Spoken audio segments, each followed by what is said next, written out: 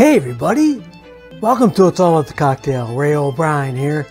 You know, I thought I'd make myself a Jameson cold brew Irish coffee, and I thought I might as well bring you along and show you just how easy it is. So, what do you say we begin?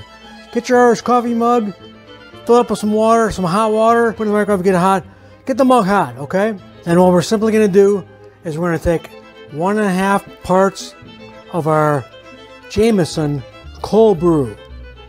Jameson cold brew is nothing but Arabica beans, Arabica coffee, and Jameson whiskey. Think try some out, you'll like it.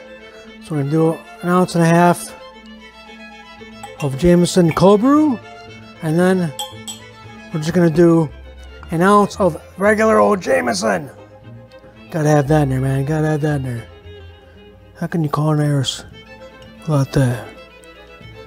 That's going to provide a little bit of heat. Okay.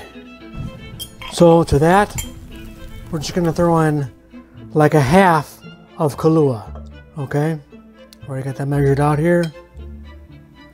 Put like a half of Kahlua in.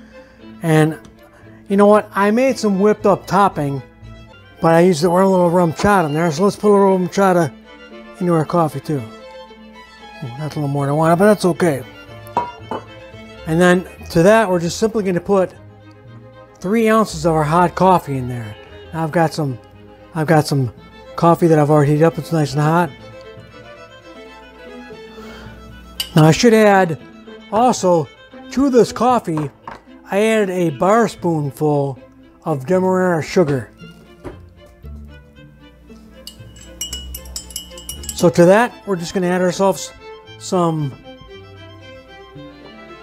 RumChata whip topping. And then stick around to the end, I'll tell you how to make it more fall-like.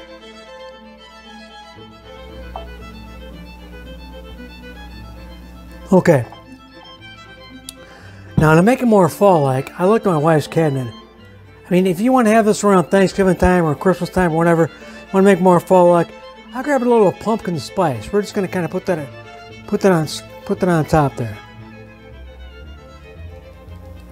That's my garnish. That looks pretty good, right? Let's check it out. Let's give it a whirl, man. Now you want to drink this through the foam. You want to drink the coffee through the foam.